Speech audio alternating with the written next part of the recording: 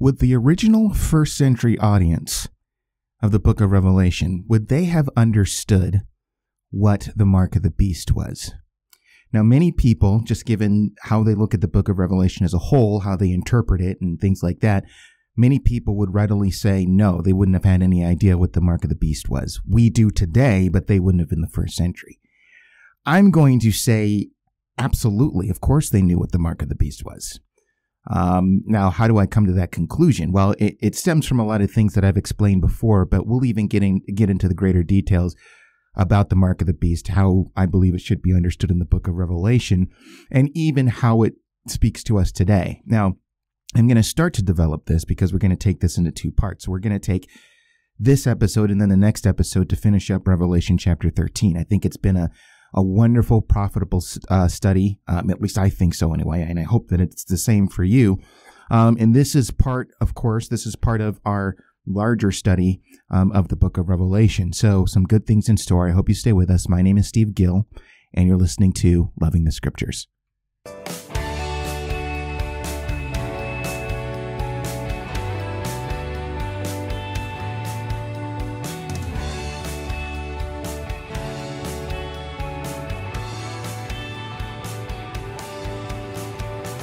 Yeah, so I would be one who said who would say that of all the things that that can be misunderstood or misinterpreted in the Bible, or even more narrowly in the Book of Revelation, um, I think the mark of the beast is one of those things, and so um, this is going to be, I think, a, a somewhat of an important um, uh, topic to discuss, um, just because I think that there are there's a great deal of misunderstanding, misinterpretation, um, you know, just on what the mark of the beast is, um, what it's you know what it's supposed to signify, what it's supposed to represent, um, and you know how it you know again I, I mentioned before even how something like this speaks to us today, or even does it speak to people in the first century? Now, of course, if if I if my whole understanding is is that the people of the first century understood what the mark of the beast was, then of course something like this, something would have been spoken to them in that day. And it's not just for a future generation um, that would be living through a a um, a, a seven year tribulation period. Um, so we're going to we're going to start to dive into that a little bit. But before we get into the specifics of that, I think you know, you know, ladies and gentlemen, what time it is it is time for my shameless plug. Yes, of course, of my book, Signs of the End. Um, what did Jesus say about his own return and the events that point to it? Um, by me, Steve Gill. You can order it on Amazon.com, um, BarnesandNoble.com, um, and we encourage you to um, to to order a copy. Um, and like I said, I think I mentioned this before um, is that the book is, I think, is is is especially good to go alongside with this podcast. Um, in in in you know, just kind of as we explore certain things, because I think that there are. Because the book doesn't is let me just say this the book isn't a excuse me the book is my goodness excuse me the book isn't um uh, a, a, a comprehensive look at end times um, or eschatology. It covers a lot of features of it, but really the the the idea of the book is to interpret Jesus' words to his disciples on the um, on the Olivet Discourse. And there are certain things that Jesus mentions and talks about that you know that are are worthwhile to, to look into, obviously. But there are other things, as far as our understanding of eschatology, that Jesus doesn't really go into a great amount of detail on. Now, I do go into some detail, some detail as far as the book of Revelation and how we should look at the book of Revelation and interpret the book of Revelation and how that should affect the way that we interpret passages such as the millennium in Revelation chapter 20. And I spent a great deal of time uh, uh, talking about that simply because you know when you when you look at Jesus's words in the Olivet discourse and then taking it from the perspective that I take it from, I mean, the, the, the question inevitably, inevitably gets asked, well, what about the millennium? Well, I, I, I go into detail about that, but, um, there are certain things in this study of Revelation that maybe isn't uh, covered as much, um, uh, you know, as it would, as you would find in the book and vice versa. So, um, all that to say, I think it would be a good idea. I mean, it's a good idea anytime, but I mean, especially now if you're a faithful listener to this podcast, um, and if you're looking to get certain questions answered, I think the book will, will be very helpful um, in in maybe answering some of those questions and uh, giving us a, a, a, clearer understanding of how to look at uh, future events and present events. Okay, um, while it does deal with future things, I mean, this has bearing on on the present as well and how we should under, understand things in the here and now. And I think that that's vitally vitally important for us to understand. So the, the book goes into that as well. So, Signs of the End What Did Jesus Say About His Own Return and the Events That Point to It by me, Steve Gill. Again, you can get that on Amazon.com, BarnesandNoble.com. Um, if you follow me on Twitter, you can go to my Twitter page. I have a link pinned um, at the top of my profile page. Just click on that and it'll, t- and it'll send you directly to the Amazon page um, for my book. So, um, yeah, go ahead and order a copy of that. Um, I, I, I'm confident that if you do and if you read it, you won't be disappointed. Okay. So, um, the mark of the beast. Um, this, like I said, this is, this is one of those areas, um, where there's a lot of, uh, I'm not gonna I'm not gonna say unified understanding, but there's there's a large collective understanding from many people as far as how we are to look at this whole thing as uh, regarding the mark of the beast. And a lot of you might be familiar with the way that a lot of people understand the mark of the beast. Um, you know, growing up, um, and even to, and even today, this isn't something that's necessarily gone away or has faded away. But you know, you, you know, people think about mark of the beast. They think of uh, they think of six six six, which is not how you say that number. It's not six six six. It's six hundred and sixty six. Um, I will explain that next episode why that's 666 and not 666. I'm not being uh, unnecessarily nitpicky. There's you know the number is 666, and there's a reason for that, not 666. But um, you know they think 666, they think uh, demonic, um, occultic uh, sort of things. A large number of people, whenever they think of the mark of the beast, they think of um, a uh, a, a, a, some sort of chip or some sort of barcode or some sort of tattoo um, that somebody's going to get on the hand or on the forehead. Um, you know, something that you know somebody will be able to scan or or, or something like that. Um, uh, there's there's a and it's it's just really it's it's just really an interesting. I, I I haven't really done a deep dive in trying to unearth the uh, the history of the development of of that understanding of the mark of the beast. Um, all I know is that it, it it's clearly comes from a certain way of viewing and understanding the book of Revelation that would say that you know you you know you look at the things in that book and you see it exclusively as a future sort of thing. So in other words, the mark of the beast wasn't anything that was around in the past. Um, it was, it's not anything that's a thing now in the 21st century or even between the first century and now.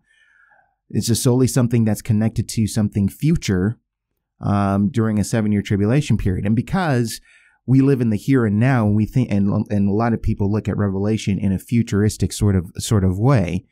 Um, they take things in the here and now as far as technology, um, uh, you know, uh, inventions and things like that. And you know, asking themselves the question, how would, you know, with the things in Revelation and how they're written, how are we to understand things now in the here and now so that it makes sense to us? And so I think really when it comes to the mark of the beast, and especially with the widespread understanding that it's some sort of barcode or some sort of tattoo or emblem that's that's tattooed or stenciled or branded on the hand or the forehead, you know, when it comes to that sort of thing, I think maybe what my guess would be um, would be that it started out as speculation. You know, the, you know, if we look at this from a from a futurist point of view, and we we look at this as a, in a future point of view, and then we ask ourselves, what would this have looked like?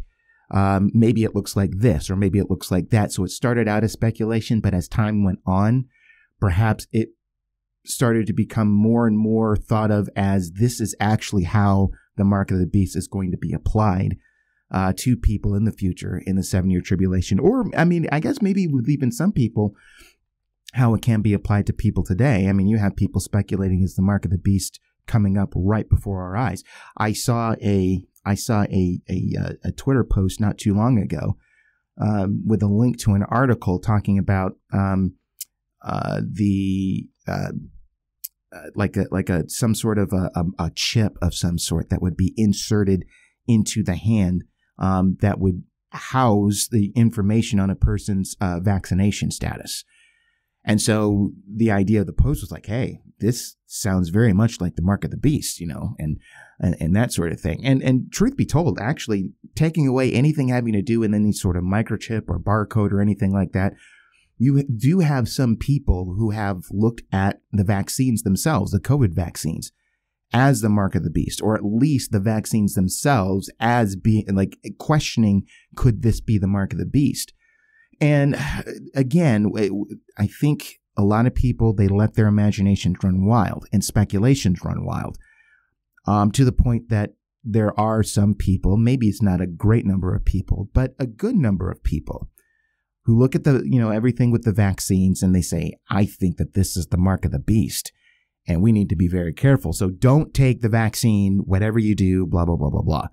And I know that some people have other reasons for not taking the vaccine, but I mean, I think spiritual elements, especially connected to the book of Revelation, um, can explain some people's uh, um, thoughts on the vaccine. And so, and it, and it gets so much to the point that I think when you have, because here, here's, here's some things that I've encountered. I've encountered on Twitter, you know, some posts here and there where somebody will post, Hey, my friend or my husband or some close family member, you know, whoever, um, broke down and, and got the vaccine. And then you see these, re- read these replies to those posts and saying, Oh my gosh, I'm so sorry. Um, I'll pray for him, you know, that, that sort of thing. It's just kind of like, okay, I, I don't think it's that big of a deal. And, and you can tell from the post that it's, that it's taken from a, uh, from the spiritual perspective as if, you know, if you take the vaccine, somehow you've broken faith in some way. And it's almost seen uh, as if it's tantamount to taking the mark of the beast so that when somebody gets a vaccine for COVID, to them it's a big deal. And they've compromised their faith and that sort of thing. And that's why you have people who are of like mind in that area replying to posts like that saying, Oh my gosh, I'm so sorry. I'll pray for him, blah, blah, blah, blah, blah. And it's just like, can we just kind of, can we just kind of slow down on this whole thing here? I, the, the vac, listen, the vaccine is not the mark of the beast. I can tell you that with much confidence. Um, now, that's not to say that you can't have certain opinions about the vaccine, whether you should take it, whether you shouldn't take it. I have my own uh, opinions about the, about the vaccine uh, myself. Uh, that runs in agreement with with some people and in, in, disagreement with other people. I mean, as far as the vaccines themselves, uh, the COVID vaccines themselves, if you if you're a Christian and you got the vaccine, that's great. I hope it works for you. I don't I don't look at it as something like, oh my goodness, you've compromised your faith or somehow you've taken the mark of the beast and that sort of thing, whatever. If you're on the other side and say that I don't want the vaccine, um, I think that it can potentially harm people, blah, blah, blah, um, that sort of thing. Um, that's great too. You know what? You, you, know, a lot of people and even Christians have made, have made a, a have made a big deal about the vaccine myself, you know, just my own opinion, I don't give a hoot, okay? If you got the vaccine, that's great. If you don't want to take the vaccine, that's your choice too. At the end of the day, I don't care. It, I really, I really don't. Um, I, I really don't care. So uh, that that makes it obvious that I don't think that the vaccine um, is the mark of the beast. Um, everybody has their own opinion. Now, I'm not anti-vaccine. It's up. It's it's up to it's up to you. It should be up to you anyway. I am against vaccine mandates. So this push by the by the federal government to force people uh, to take vaccines that I am not a fan of. Okay, that I am not a fan of. I will say that for sure. Um, and a lot of people, whether vaccinated or unvaccinated, feel the same way. Um, so so yeah, let's just let's just i mean just in starting to discuss this whole thing with with the mark of the beast can we just at least agree together not to connect things like the covid vaccine to the mark of the beast the the vaccine it, that's not it Okay. That is not it. The vac, the COVID vaccine, whatever you think of it, whatever your opinion is of it, it is not the mark of the beast. Okay. Can we, can we at least agree on that? And hopefully by the time we end this discussion on the mark of the beast, you'll understand why. You'll understand, oh yeah, okay. That's kind of silly to think that, that the vaccine is, is the mark of the beast. Um, and especially, I'll, I'll tell you now, especially given what we've seen in Revelation 13 and the religious overtones um, of this. The religious overtones having to do with those people who are connected to the beast, those are the inhabitants of the earth, i.e., unbelievers, and those whose names are written in the Lamb's book of life. So we see that the that the the line of demarcation here in Revelation chapter 13 is between believers and unbelievers. And you have one group of people whose names are not written in the Lamb's book of life. And what do you see them doing? You see them worshiping the beast. And that's not what people whose names are written in the book of life. That's that's what one thing that you don't see them doing is worshiping the beast. Now, I think as it as it relates to the mark of the beast, people who take the so-called mark of the beast, and again, we'll get into all of what that is and how the first century audience would have understood it to mean. Um, you know the you know this whole thing that with the with people of the earth getting the mark of the beast. This is a whole thing that I believe the inhabitants of the earth, unbelievers, people whose, whose, names are not written in the Lamb's book of life, they would have no qualms in, in, in getting a mark or, it, and I got to be careful with how I word things here because I'm, I'm trying not to make it sound like these are people who are voluntarily going to a place and getting something on their hand and forehead and saying, yes, okay, mark me up. I don't think that that's the way that it works, although I think that that's how a lot of people imagine it to be. I kind of think of um, the 1972 film um, uh, Thief in the Night. I know that I've made references to that movie here and there uh, throughout our study of uh, of Revelation, and that and that movie is is and the other sequels. There's three other movies that are sequels to that. Um, is definitely from a from a dispensational premillennial um, perspective on that. And one thing, if you're if you're familiar with the movie, if you've seen the movie, and if you remember from that movie, um, the whole thing of the mark of the beast, you know, it was some sort of um, emblem or something that was that was uh, branded on somebody's hand or on their forehead. Now, here's the one thing. This is kind of a side note. It's not that important, but it's something that that I never really understood. is that okay, it, as it's as it's portrayed in the movie? Um, you know, the rapture has already happened, and you have these people who are lined up at these at the Unite um, you know, uh, identification centers where people are, are, are getting this mark, the mark of the beast. And of course, from scripture, it says that you get the mark of the beast on your hand or on your forehead. And so, um, the, um, the thing is, is that, you know, when people go in to get the, to get the mark, they're given a choice, um, on the hand or on the, or on the forehead. And the scene is, it, it, the scene to me is somewhat comical because it's kind of very deadpan. And I don't know if it's the way the script was written or if that's just a product of bad acting. Uh, but you know, you have this scene where you have um, you have this you have this woman sitting across from this guy, and the guy's like, "You want it on the hand or on the forehead?" You know, it's kind of, kind of very serious, very demeanor. He kind of sounds like a, you want to mark on your hand or on your forehead? And uh, the woman's like, "Can I wash it off?" He's like, "No, it's permanent." and she and she sits and thinks about it for 30 seconds and then she says on the back of the hand and i think why do you need to even think of that think about that? If it's permanent why in the world would you want to get it on your forehead? Get it on the back of your hand if you're going to get the mark get it on the back of your hand if it's permanent not on your forehead and what's interesting is that once she gets stenciled on the or branded on the on the hand, she gets up, and then the next person in line is this is this old dude, and he sits down and he points to his forehead. He's like, "Mark me up. I'm not afraid to be a good citizen." And uh, you know, and so his choice was on the forehead. And again, I think you know the whole thing. Why would you want to get that on the forehead? if you're going to get the mark. It just doesn't seem to make a lot of sense. But you know, here's the question. Again, I mean, speaking of that, I mean, we think about the, the mark of the beast. We think of it on the hand or on the forehead, and um, you know, we think, okay, this is you know, at least from the perspective of the people who made that movie, which again is obviously from a premillennial dispensational perspective, they think that this is something that's going to be a literal marking. Is that really the the case, though? Again, we're going to get into that a little bit, um, a little bit as well. But um, it's I'm gonna just gonna say something here before we delve into the text. That's going to be very important for us to understand. And I think, and this is something that I've that I've mentioned in times past. I know, but it's good to be reminded of this here. And that is, is that when it comes to this passage, or even several other passages in the book of Revelation, um, as you well know, it's important for us to interpret this in light of you know how the first century audience would have understood this.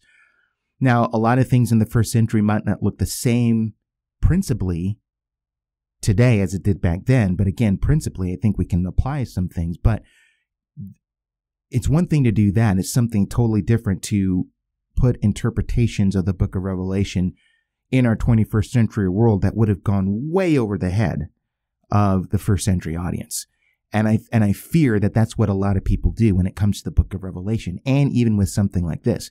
So when it comes to the mark of the beast, you know, we assign that as being some sort of barcode, um, or some sort of tattoo or microchip or something. Um,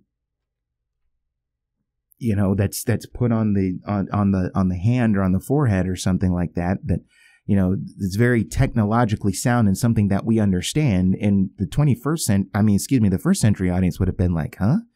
You know, and, and I'll repeat again. The book of Revelation is a book that's meant to reveal, okay? It's a book that's meant to reveal. So when John is writing this down to the original first century audience, he's not writing things that's that's a total enigma to that first century audience. And in fact, I'm fully convinced that when the book of Revelation is being read to them, that they would have been ones, as they're hearing this read to them, would have, would have been ones who said, Oh, I know exactly what, what he's referring to. I know exactly what this is referring to. I know ex- exactly what this is being communicated to here. But we don't think that the first century audience had a great deal of understanding of a lot of things. And as time and as technology has grown, we're like, oh, we get this here. We understand this, this, and this. And I'm going to be one who says, no, we're the lost ones. The first century audience had had would have had a greater understanding. And I think a lot of times in the 21st century, we've kind of mucked it up. And one of the big contributing factors to that is our lack of understanding of the Old Testament. Now, I'll leave it there because I feel like I'm, I'm going extensively on territory that I've covered already, and we don't need to plow that ground again. But again, this is just to set the stage and to set the table so that we can have our minds in the right place, so that we can be in a better position to look at the mark of the beast more accurately and not look at it as some sort of 21st century technological sort of thing um, or you know looking at it you know whether that's in the form of a chip or a barcode um, or you know again the covid vaccine. None of that is the mark of the beast. I mean i'm i'm being very bold here when i'm when i'm saying this and being absolute when i'm saying these things. Those things are not the mark of the beast.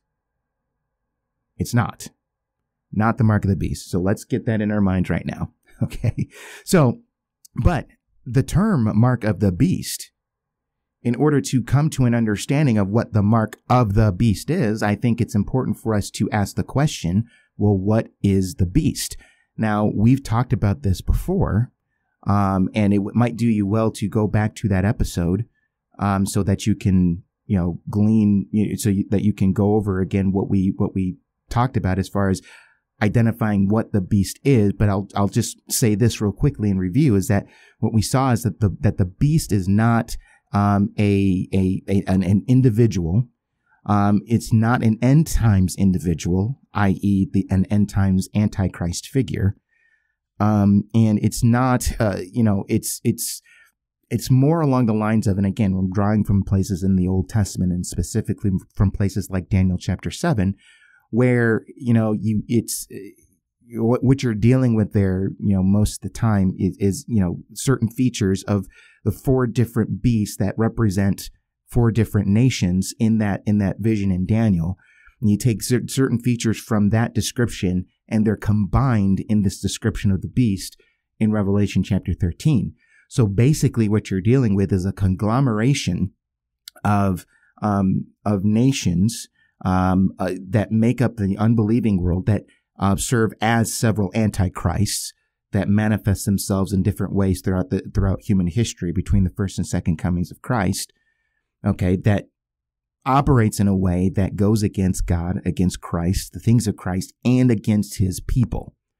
Okay, that's really what we've been what we've been talking about. And then we when we see the emergence of the um, of the second beast, who will later be called the false prophet, um, you see that this second beast points everybody in the direction of the first beast, and using signs and miracles and stuff, including fire coming down from heaven and stuff, to point people to them to give legitimacy to the first beast. And it's from this, and it's from this, the activity of the second beast that we see this whole thing of, um, of, uh, the, uh, we see this whole thing of the mark of the beast coming about. Okay. But that's what we see as, as it relates to, you know, things having to do with the, the, the beast, uh, the two beasts, the first beast and the second beast. Um, and again, if if you're just joining us now, I would encourage you to go back a handful of episodes uh, to when we started our study of chapter 13. I don't think you necessarily have to go and you know start at the very beginning of Revelation, although if you wanted to do that, you could. But at the very least, go back to you know the, when we started looking at um, Revelation chapter 13 and talking about what the uh, what the beast is um, and start listening to those episodes from there leading up to here. And I think you'll have a greater understanding as you enter into as you enter into this time. Okay.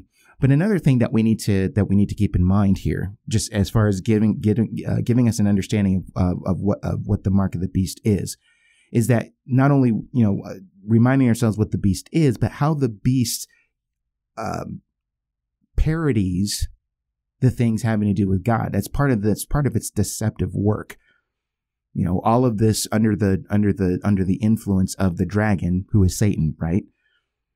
And with the beast taking the authority of the dragon i.e satan you know you see that part of its deceptive work is to do things that make it look godlike you know for example. So again one of the things that you see repeated here and there a few times is the whole thing of of, of the wound. It, you know, it has it has seven heads, and one of the one of the wounds of the head um, was healed, and that's supposed to parody the whole thing of the lamb back that we saw in Revelation chapter five, which we understood, understand to be Jesus Christ, who was uh, who seemed to be slain but was standing, and the language, and especially in the original language in the original Greek, kind of is shaped in the same way, and I think that you know, to describe the the the wound of one of the heads that was healed, you know, it, looking as if it had been had been wounded but is now healed. It kind of has that sort of thing where it's kind of trying to imitate or parody things having to do with Jesus Christ, who was slain and is now standing and is alive, who is resurrected. Um, another area that you see that is is in the way that that people of the earth, the inhabitants of the earth, the unbelievers, worship uh, the beast. Because remember, the people of the earth, those whose names are not written in the Lamb's Book of Life, those are people who are going to be worshiping the beast. And one of the things that we saw them saying um, was um, in uh, was in verse four, uh, where they're saying, "Who is like the beast, and who can fight against it?" Now that language is somewhat familiar if you understand that in places in the Old Testament, that's kind of the refrain that the people of God would say you know, when they're worshiping God, or even how God Himself speaks about uh, speaks about Himself, where He says, "Who is like me?" or some or anybody who's worshiping God saying, "Who is like our God?" Um, and that sort of thing. You see places like that in in the book of Isaiah. You see that in Exodus chapter fifteen, and in some other places. Again, we we went over a few examples when we went over that um, in that particular examination of that passage. Okay. Um, and even when you get to the whole thing of the second beast or the false prophet, the fact that it's, uh, that it has two horns, um, that's supposed to parody, I think, the two witnesses, um, that you see, the two lampstands, you know, those things that we saw in Revelation chapter 11, which when we were going through that and as we unpacked the meaning of that, you'll know that I concluded that I believe that the two witnesses represent the church between the first and second comings of Christ. Um, again, if you're wondering about that and you haven't heard that, go back and listen to those episodes as well. I think it's a very uh, worthwhile examination to go back and listen to. Um, but that's so if we're talking about the mark of the beast, we have to remind ourselves what we're dealing with as it relates to the beast. And the beast is one where, who is being worshiped by the inhabitants of the earth. He's speaking haughty and blasphemous words against God and against the people of God and that sort of thing. And that beast is one who overcomes the saints and conquers them.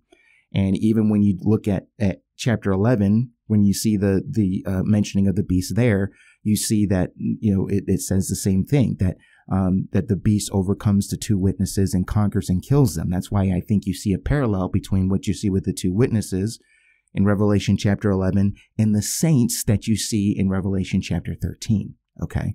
So a lot of stuff there, you know, that we're just, that we're just throwing out there. But I think again, if we're talking about the mark of the beast, we have to be reminded of those things. Now, as you go, as you get into this whole discussion of the, of the mark, um, of the beast, um, if you look at, we're just going to look at, at, at part of, at, at verse 16 and part of verse 17 um, and then look at the rest of the passage um, next time in finishing up chapter 13 of Revelation.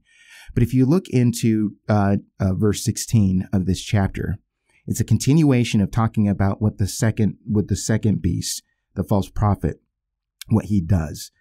And this is what it says. Actually, let me go ahead and read verses 16 through 18, even though we're not going to cover all of that. We'll, we'll see that as a whole. Um, no, actually, scratch that. Let me just go back and read the whole section. Um, that includes what we looked at the last time we were in Revelation. So, in chapter 13, starting in verse 11, last time we were in Revelation, we looked at uh, verses 11 through 15. We're going to look at uh, verses 16 through 18, these next two episodes here. But starting in verse 11, just so that we can get the full picture here, this is what it says. It says, Then I saw another beast rising out of the earth. It had two horns like a lamb, and it spoke like a dragon. It exercises all the authority of the first beast in its presence and makes the earth and its inhabitants worship the first beast who, whose mortal wound was healed. It performs great signs, even making fire come down from heaven to earth in front of people. And by the signs that it is allowed to work in the presence of the beast, it deceives those who dwell on earth, telling them to make an image of the beast that was wounded by the sword and yet lived and it was allowed to give breath to the image of the beast so that the image of the beast might even speak and might cause those who would not worship the beast uh, uh, the image of the beast to be slain. Now here here's where we get into our part here where we left off.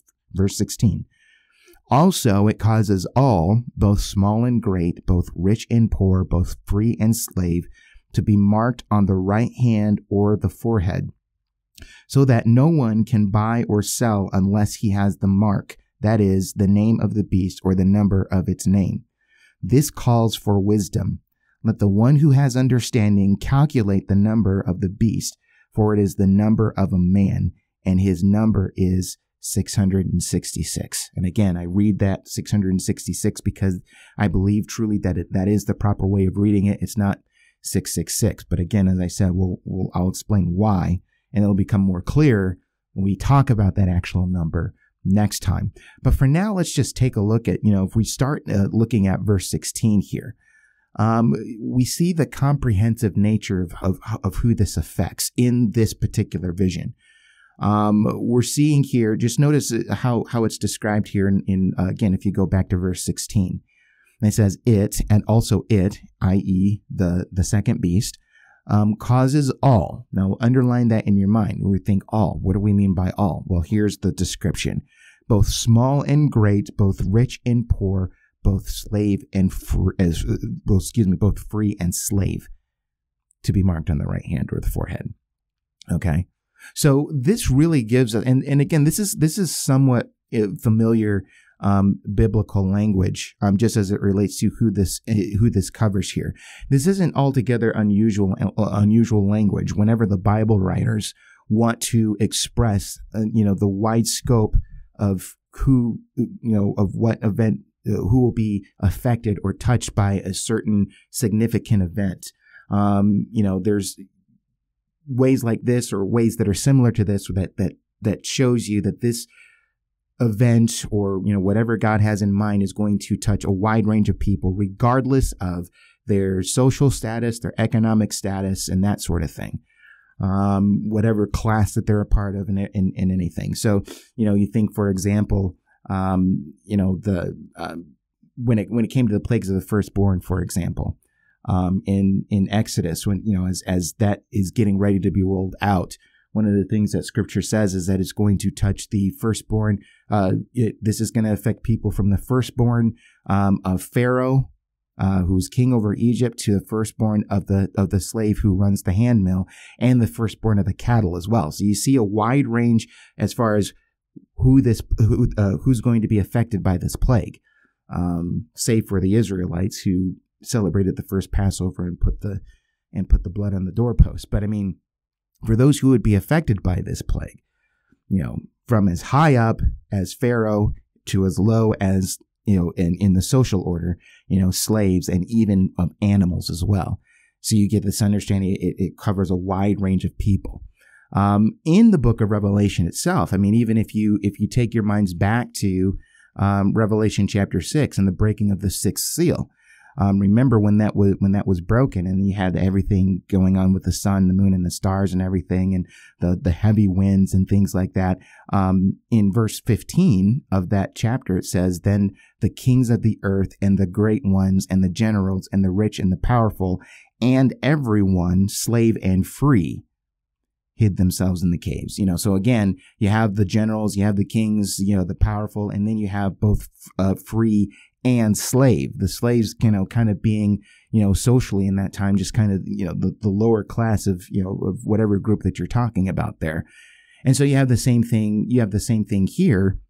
Uh, when it comes to when it comes to Revelation chapter 13, and it seems very widespread. Now, here's the thing, because when we're talking about the mark of the beast, we're talking about people who are being deceived. Remember, that's the whole purpose.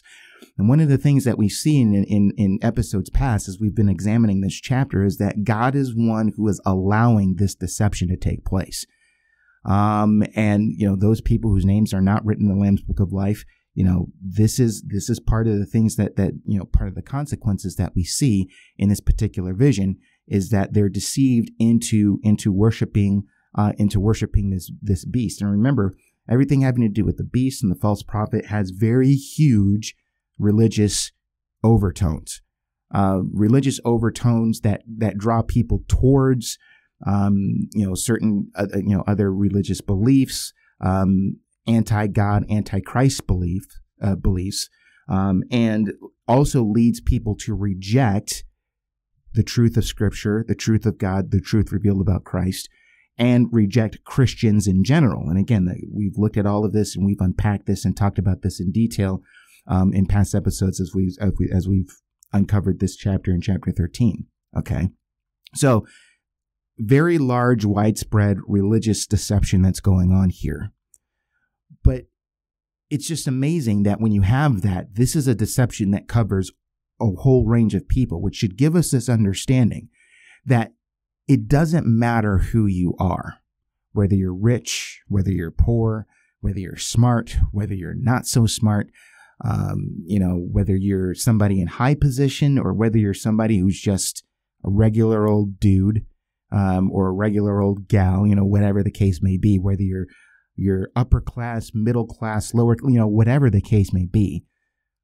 Spiritual deception doesn't discriminate from social class or social standing or educational status or that sort of thing. It, it, it doesn't know, it doesn't distinguish between those sorts of things because truth of the matter is whether you're you're you know where you're talking about slaves versus free you know rich versus poor you know upper class versus lower class or whatever the case may be if we're dealing with a group of people whose names are not written in the lamb's book of life from the from the beginning of, of, of the world from the foundation of the world you're dealing with people who being born spiritually dead into this world um, are prime candidates for being drawn, or, or actually, I should say, are ones who automatically, by their very unregenerate nat- nature, go against the things of God. They, they're haters of God, according to Romans chapter 1.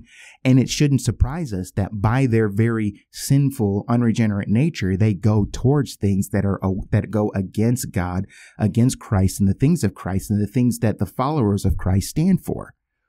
Okay. So that's just a spiritual truth as it relates to somebody's spiritual condition outside of Christ. It doesn't matter whether you're educated or uneducated, or whether you're upper class or lower class, whether you're rich, whether you're poor, whether you have a PhD or whether you have a GED, right? It doesn't matter.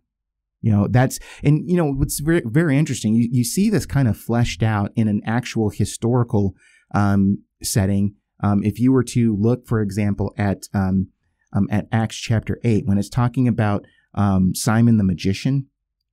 Um, you remember that whole thing before, you know, you know when it's talking about uh, Simon the magician who was who was doing all sorts of things to you know all sorts of magical arts and things like that. Um, and this was before Philip the evangelist came and, and started doing ministry um, in uh, in Samaria. But the description here in, in Acts chapter eight, if you look, for example, at verse uh, verses nine through like eleven, where it says, "But there was a man named Simon who had previously practiced magic in in the city." And amazed the people of Samaria, saying to saying that he himself was somebody great. They all paid attention to him, from the least to the greatest, saying this uh, this man is the power of God that is called great. And they paid attention to him because for a long time he had amazed them with his magic. Okay.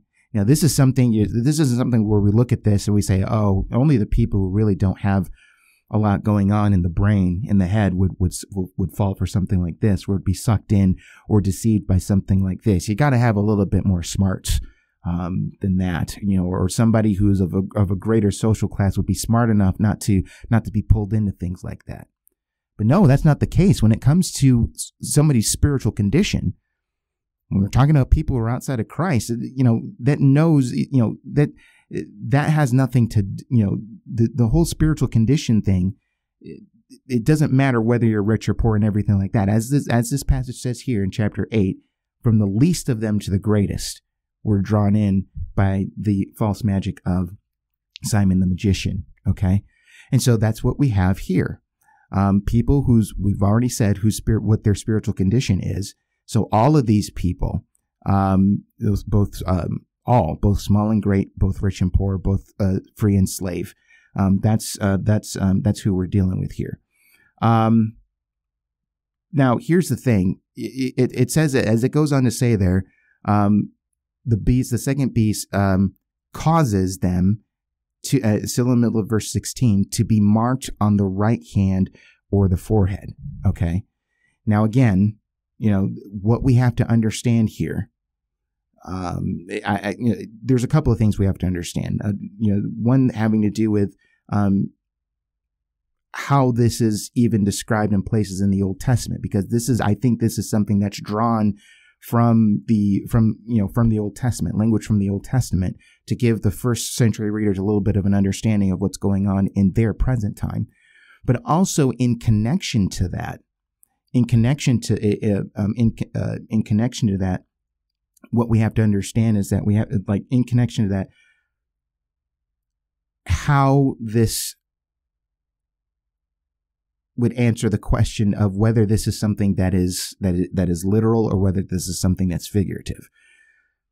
Now, based on our on the study of that that we have of Revelation up to this point, I think you're very much aware if you've been with us in our study up to this point that I believe that much of what we read in the book of Revelation is symbolic. Now, does it mean that you know it's just all completely allegory and that nothing that nothing in it is true? when we're talking about figures, when we're talking about symbols, when we're talking about allegories here, it's those things are pointing to a reality, pointing to something that's real. So we're giving the we're given the the symbolic pictures here, but they point to something real. The whole thing is what is the reality that the apostle John is pointing to. That's what we have to understand. And when we draw from our understandings or what should ideally be our understandings of things in the Old Testament and how the first century audience would have understood these things, we, we were able to answer the question okay, so when it comes to the mark of the beast, the actual mark of the beast, are we actually really dealing with something that's literal that we put on our literal hand and on our forehead? Or is this something that we're just, that's just, you know, that's just figurative and it's pointing us to another reality that we need to grasp onto so for greater understanding and for greater clarity? All right. But basically, I think what we're dealing with here for the most part, um, here again is um, another parody between, you know, what is presented with the beast or the mark of the beast and what we see with Christ, God, and the things of God. If we're talking about a mark that's somewhat close to or similar to what we read before as it relates to the people of God, i.e., Christians, believers in Christ, being sealed Now, one thing that we that we learned as it relates to a seal or marking of some sort is that it marks um, it, it, it denotes um, possession, saying that this thing, whatever is sealed here, belongs to this person, or and or it speaks of protection. You know, something that's sealed um, is something that is protected by the person who sealed it. Okay. So I think that that is the best way that we should understand um, this sort of thing. This is another parody um, that we that we're encountering here. So if you were to look at places, and we don't have to go into great detail on this, but if you know for places like Second Timothy two nineteen, where it talks about this, you know, the seal of you know God knowing those who are His, that speaks of the possessive aspect. Um, and the protection aspect, as we saw it laid out in Revelation chapter 7, verse 3, Remember, actually, I do want to turn back and point your attention to this because I think that this is going to be very important for us to understand. Um, but in, and let me just start in verse 1 here of, of Revelation chapter 7 here, and then work our way to verse 3 where it says this. It says, After this I saw four angels standing at the four corners of the earth, holding back the four winds of the, of the earth, that no wind might blow on earth or sea or against any tree. Then I saw another angel ascending from uh, ascending from the rising, uh, excuse me, rising of the sun, with the seal of the living God, and he called with a loud voice to uh, to the four angels who had given uh, who had given uh, who had been given power to harm earth and sea, saying, "Do not harm the earth or the sea or the trees until we have sealed the servants of our God on their foreheads." So you get a sense there that there's a protective aspect there as far as the sealing of those people. Now, the people who are sealed, as you go on to read in that chapter, are 144,000 uh, Jews, which, if you go back and listen to that episode and, and unfolding that, we understand that that's not a literal uh, number of 144,000 Jews, but that's a representation of the church between the first and second comings of Christ. Again, I know that for some people, they're brought up believing things differently. But trust me, I, I explained all of those things in a previous episode. So if you're wondering about that, go back and listen, uh, listen to that episode. But the point being here is that you see an actual sealing going on here. Okay. And the sealing, um, at least as we saw it there in Revelation, in Revelation 7 3, has a protective aspect to it. Okay.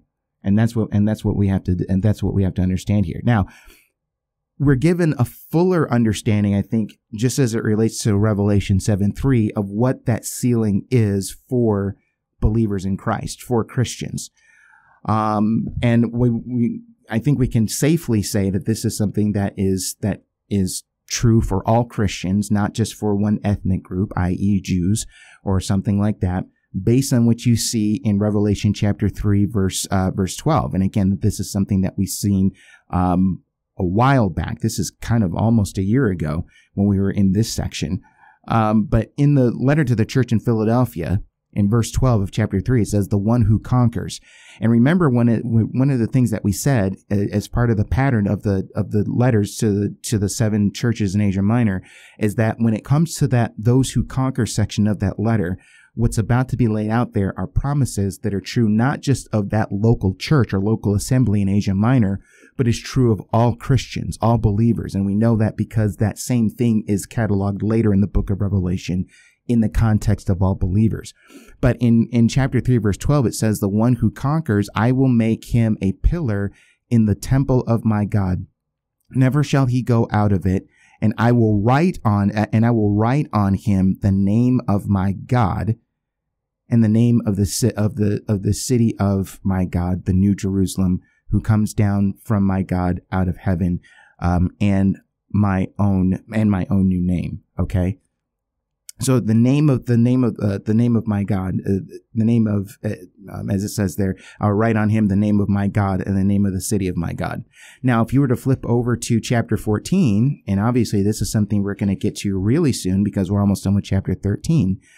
But in chapter 14 of Revelation, um, in verse 1, um, it says, Then I looked, and behold, on Mount Zion stood the Lamb, and with him 144,000. Okay, so there's 144,000 again, who had his name and his father's name written on their foreheads. Okay. So there you see that, you know, we're dealing with the same thing here, the name of God written on the foreheads. And this is something that applies, again, as we just talked about, is something that applies to all believers. Now, the question is, this seal, and I think that this is very much what we're talking about when, when the believers are sealed. Um, and I think if you go even theologically deeper, you see that the sealing is the Holy Spirit. It's pointing to the Holy Spirit. If we're talking about sealed, protected, the seal of protection that's written on the forehead of the believer, are we, is that something that we're to take literally? No, and I and I don't think that I'd get a lot of argument from that. I can go to a mirror right now, look at the mirror, look in the mirror, and see that there isn't God's name literally written on my forehead. It's just not there.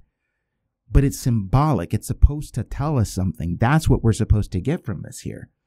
Okay?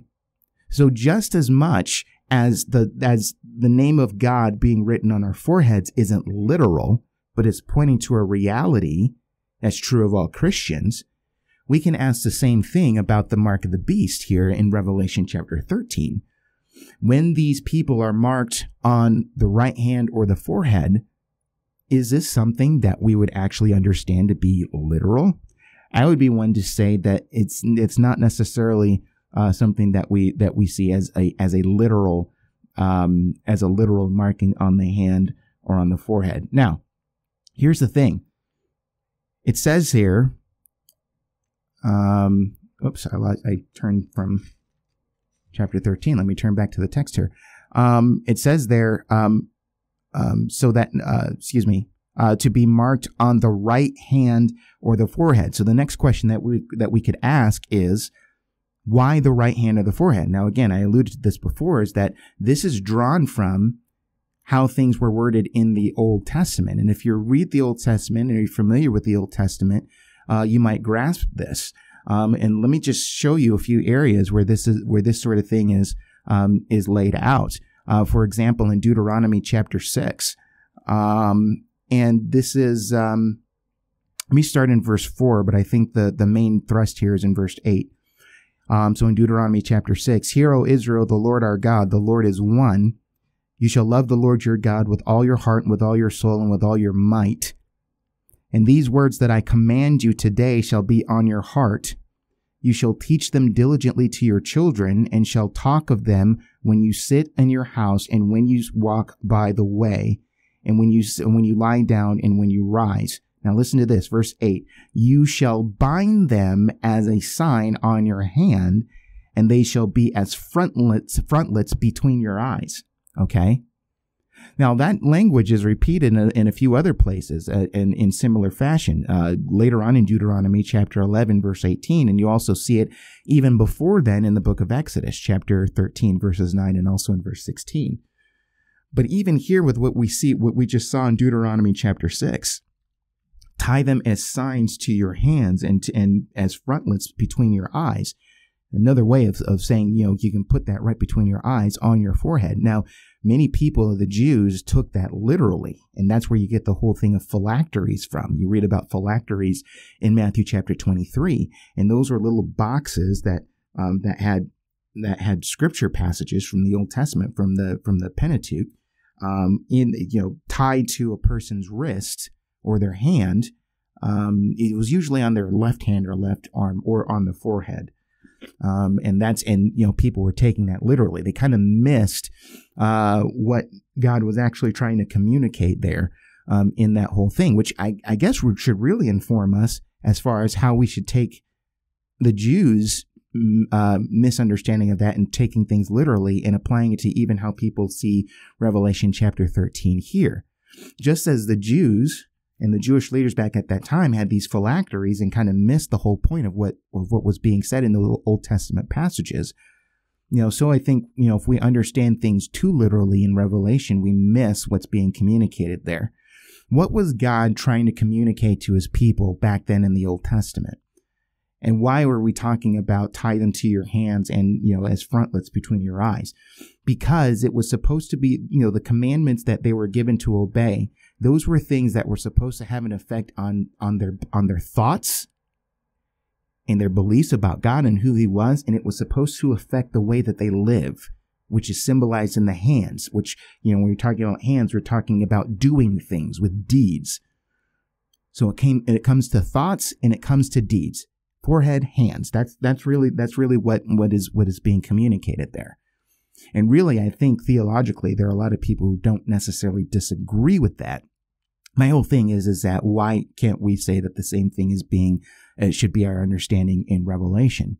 Because really, what we're, what we're talking about in Revelation chapter 13 is a whole thing where people are buying into the system of the beast and its anti-God, anti-Christian way of going about things and even persecuting the people of God and even with the with the activity of the second beast and putting them to the first beast and saying this whole thing is legitimate what does that affect? Uh, how does that affect the people whose names are not written in the lamb's book of life? It affects the way that they think and what they believe and it also affects their deeds as well. And that's really what we're talking about here what we're talking about here is that you you know people are, are being told to buy into a belief that takes them away from the from God, the one true God, Christ, and what Christians proclaim as far as the gospel is concerned and proclaim what they proclaim about Christ. And they go in the other direction. And so much to the point that that belief system causes them to turn and hate the people of God. So much to the point that they are, they are, I've used this term before in past episodes as it relates to the people of the earth and the beast, that they are of kindred spirits. They are in agreement with one another. So basically, even with the people of the earth, I don't think what you're dealing with here are people who are standing in line like you see in, in movies like The Thief in the Night, who are waiting to get a physical tattoo of some sort on their hand or on their forehead.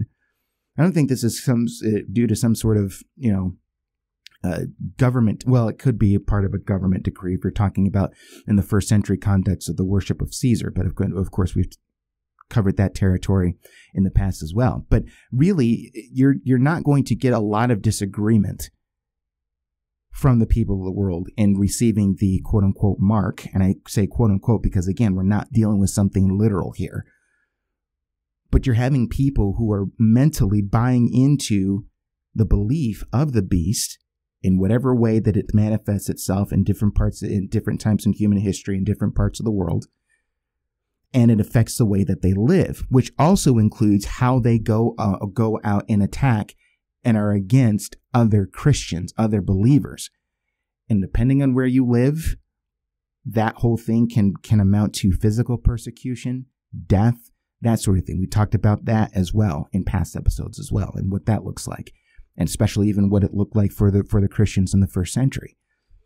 So that's really so that's really what you're dealing with. And so uh, on on a, on a I guess you could say even on an opposite uh, perspective on how on how to look at this, if you're talking about people who you know on their foreheads or on their hands receive the mark of the beast, which shows that you know their his its possession of them just as far as them buying into the the the thoughts the ideologies that go against Christ and the deeds that go against his commandments and also what results of them going against and persecuting God's people. You know if you if you if you have that sort of thing as it relates to the hand and the forehead in an indirect way, and I say indirect because it isn't explicitly laid out in the text here in Revelation 13, you see what this means as far as the hand and the forehead for believers, those whose peoples whose names are written in the Lamb's book of life. Because our thoughts, our beliefs are connected to Jesus Christ, not the beast. And that belief and that faith and that trust that we put in God affects the way that we live. And because we've been renewed, because we've been regenerated through that belief in the one true God and belief in Christ for salvation of our sins, based on his sacrifice on the cross. We live totally different lives than people of the world. And I don't know if any of you who are listening now have been with us when we were, you know, last year when we were going through um, the study of First Peter. But if you remember, one of the things that I said as we were going through that book is that we, you know, you know, our quote unquote culture, so to speak, just speaking in spiritual terms here, is different from the world system so that we are the ones that look alien to everybody else in the world. because our thought our thoughts are different, our beliefs are different, our behaviors are different. People look at us and saying, "You are weirdos." And for some people, depending on how God is working on their heart, that might be a draw for them that draws them closer to salvation. But for other people, it gives them reason to ridicule, revile, and maybe even abuse other Christians. So in an indirect way, we can say that, you know, what we have on our hand and our forehead marks us as people who belong to God. And of course, we do see in a certain sense, we are sealed. We do belong to God, as we've seen in Revelation chapter 7 and even what I previewed there in, in Revelation chapter 14. And that results in something that's different than the world system, and the world doesn't like it. Because for a lot of people in the world, that's going to serve as a big area of conviction against them, and they're not going to like that. Okay. So as this, as, you know, as time persists and you see these different manifestations of the beast, remember the people who are inhabitants of the earth are, you know, work hand in hand with the beast. They're of kindred spirits. They believe the same thing. They themselves are anti-God, anti-Christ, anti-Christian. So they're able to, with no problem, look at the people of God and say, we don't like you and may be involved in persecution in whatever form and whatever degree. And you see that you see how that uh, the effects of that even when you go into the first part of chapter uh, excuse me of verse 17 so we talk about this whole thing of people receiving this mark you know to be marked on the right hand of the forehead. Verse 17 so that no one can buy or sell unless he has the mark. Okay? Now again this whole thing if we look at this from a futuristic perspective you know, again, this is something that a lot of people see as, as happening during a seven year tribulation, where, you know, people before that time or even people in the first century, if they were, you know, to look at something like this, you, we imagine that people before this time wouldn't know or couldn't imagine what this would be like if because we don't have some sort of insignia or barcode, uh, barcode or tattoo on our forehead and our hands, we couldn't imagine that, you know, suddenly we wouldn't be able to eat, we wouldn't be able to go to the store or anything like that. Again, to, to draw your attention back to what I talked about as far as the thief in the night. Remember, uh, you know, when it, there's one scene where it, it, shows this this girl who hasn't received the mark yet, and she's trying to go to the store, and there's a sign in the in the door that's that has the symbol, the mark. You know, it's it, it's a mark. I can't describe it. It's you know some uh, some sort of symbol or insignia and it says that and it says only those citizens with the mark you know whatever are welcome. So she doesn't have that so she can't go into the store. And that's what we kind of imagine things to be. And it's very much futuristic. And again futuristic in the sense that this is something that's only going to um, that's only going to affect people in a seven year tribulation period. Folks that sort of thing was going on in the first century. Now i i think i may have mentioned this um, before and if so, I'll, I'm, I'll just be mentioning it again.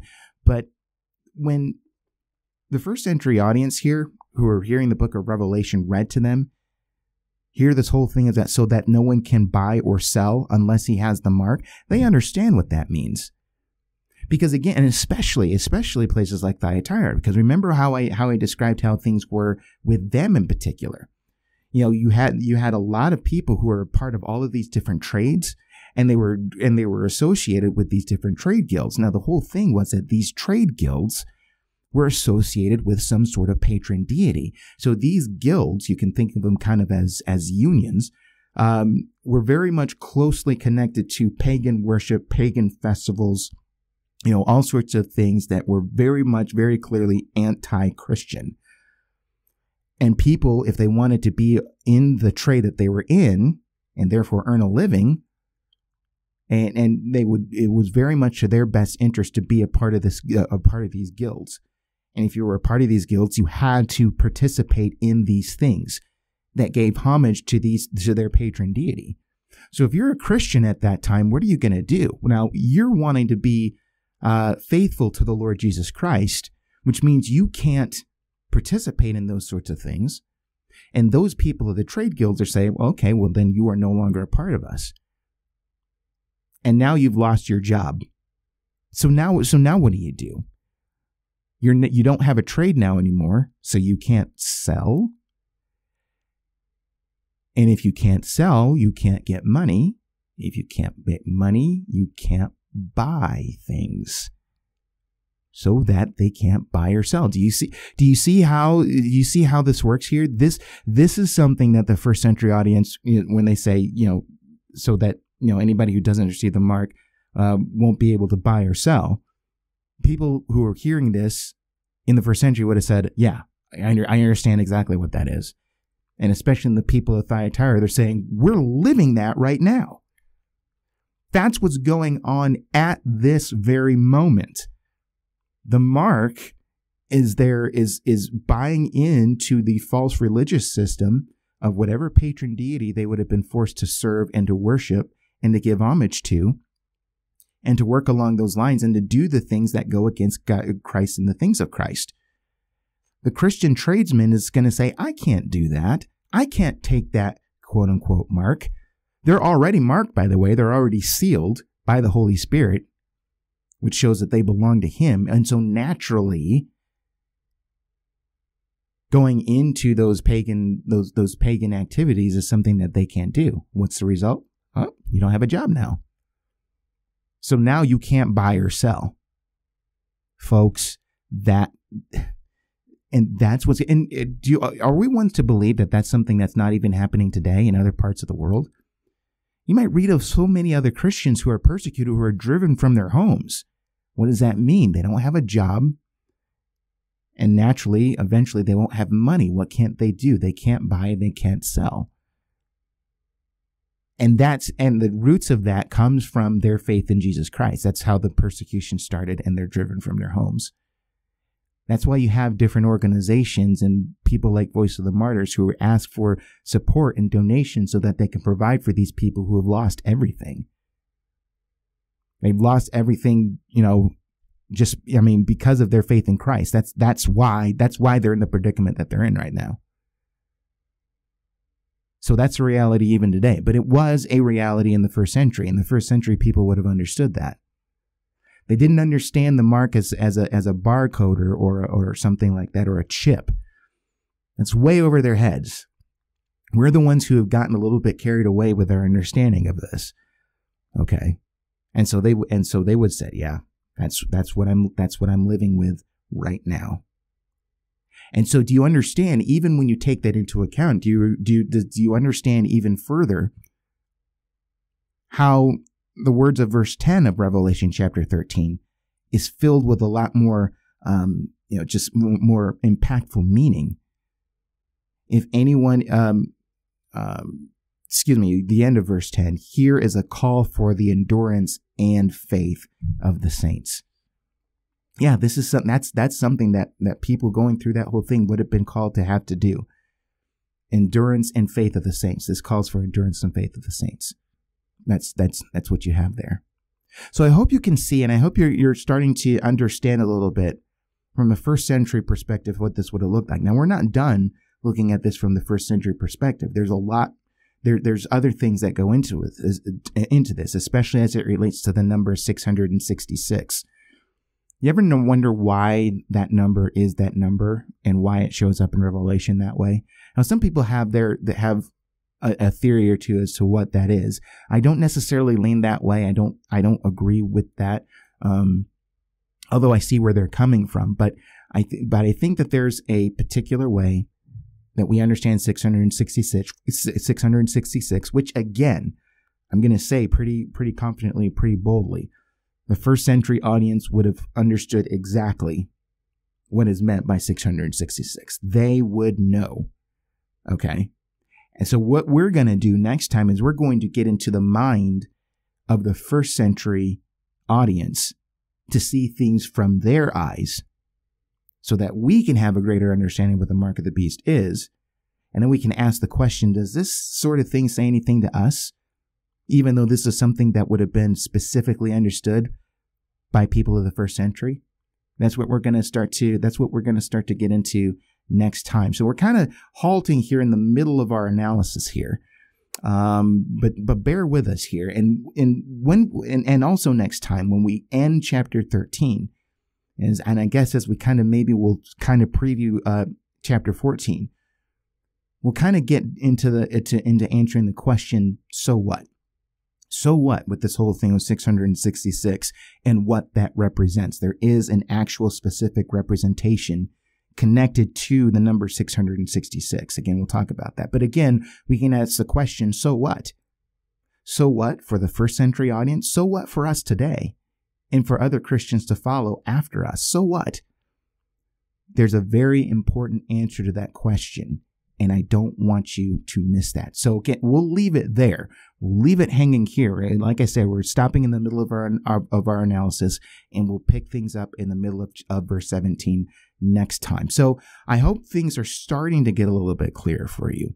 Um, and we'll bring that clarity to completion hopefully next time. So we'll leave it there for now. If you if you um, if you enjoy the show and you haven't done so already, I would encourage you to subscribe to my show on um, on Apple Podcasts, also on iHeartRadio, YouTube, uh, Spotify, wherever you listen to podcasts. You can also follow me, Steve Gill, on Twitter. My handle is at LT Scripts. That's L T S C R I P T S, which stands for Loving the Scriptures. And don't forget to order a copy of my book, Signs of the End. What did Jesus say about his own return and the, and the events that point to it? Amazon.com, BarnesandNoble.com is where you can get those. Okay, so I enjoyed just dipping our toe into this whole thing here. And again, we'll bring this to completion next time. I hope it's brought clarity to you as well. Um, and I would invite you to come back and, and, and finish off chapter 13 with me um, so we can get the fuller picture there. Okay, well, my name is Steve Gill, and I will see you right back here next time.